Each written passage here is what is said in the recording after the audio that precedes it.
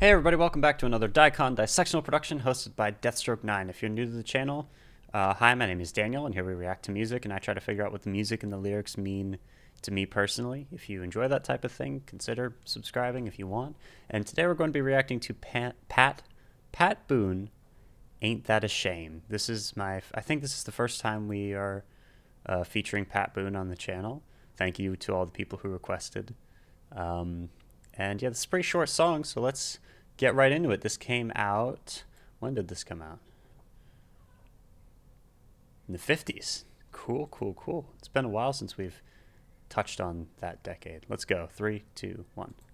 You made me cry when All you right. said goodbye. Ain't that a shame? My tears fell like rain.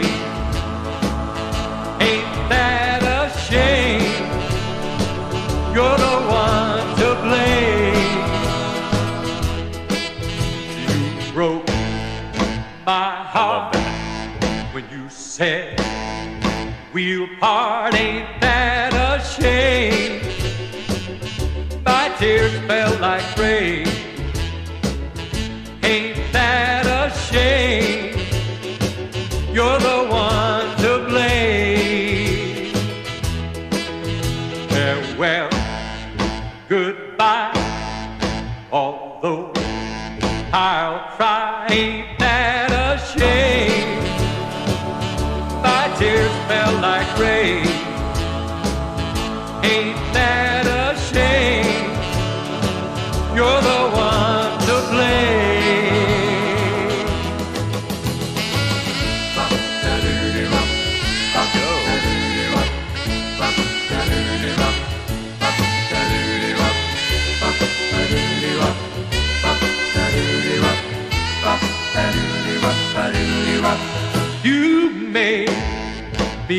cry when you said goodbye. Ain't that a shame?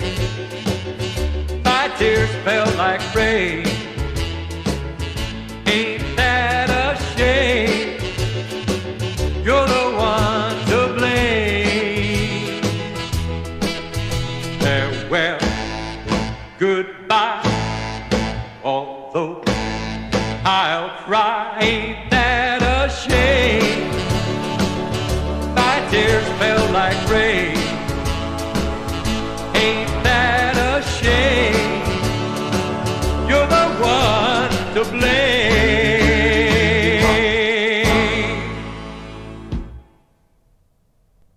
Alrighty then. I like that, um, the section that's in between, like, each, uh,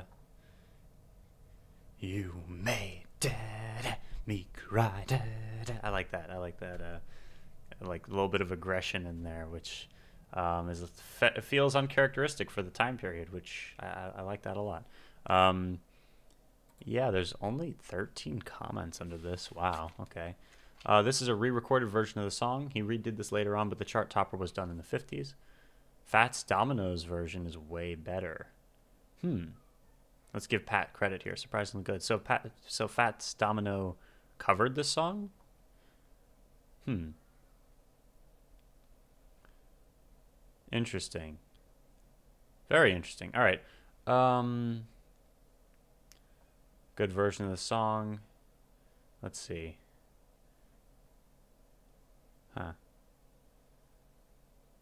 This says Elvis was supposed to be the sexy bad boy. Ironically, Pat was such a womanizer he caused his wife Shirley to have a nervous breakdown.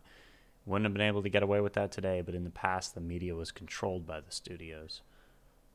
That's an interesting comment. Um, in the years prior to the British invasion, only one performer rivaled the chart presence of Elvis Presley, and that was Pat Boone. With his trademark white buck shoes, perfectly combed hair, and gleaming smile, Boone was the very essence of wholesome American values. And at a time when the rise of rock and roll was viewed as a sign of the apocalypse, he made the music appear safe and non threatening, earning some 38 top 40 hits in the process. It is fitting that his achievements rank close to those of Presley. After all, both claim the sound of black R&B culture for their own, in the process straddling both sides of the color line and popularizing a form of music which otherwise might have never gained widespread acceptance. Of course, while Elvis, with his flashy suits, swiveling hips, and suggestive leer, remained persona non grata, grata throughout many corners of the mainstream America, Boone was embraced by teens and parents alike. His music's polished rock polished rock's rough edges away, making songs like Tutti Frutti and Ain't That a Shame palatable to audiences raised on soothing pop traditions of a vanishing era. Hmm. All right, that's actually a lot of good information there. Uh, yeah, and the lyrics are very, you know, you made it sounds like they're about to break up.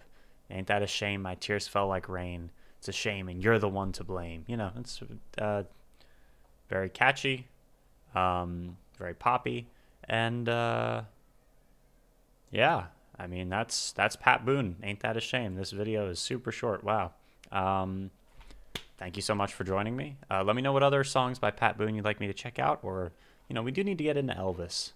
We've been I've like I've said this a few times in the past. I know very little about Elvis, um, and I feel like that's a part of music education that must be you know rectified as soon as possible. So um, yeah, we'll probably we'll probably dive into some Elvis soon. Maybe I'll do one or two, a, a couple tracks by him to kind of ease into that.